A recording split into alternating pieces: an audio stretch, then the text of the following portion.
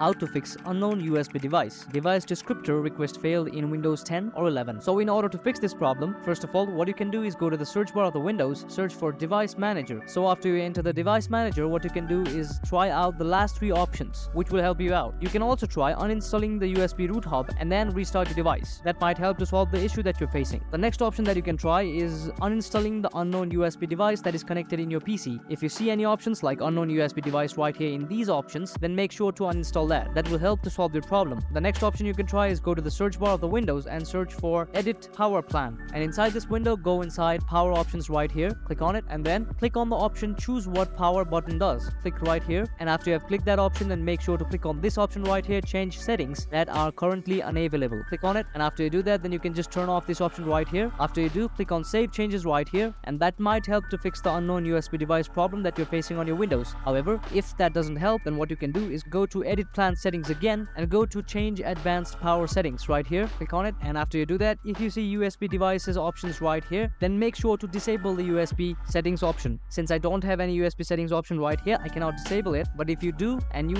most likely will, make sure to disable the option and restart your PC. So these are the options that you can try out if you're facing unknown USB device, device descriptor request failed issues in Windows 10 or 11. So that's so that's it for today. Hopefully you found this video helpful. Thank you very much.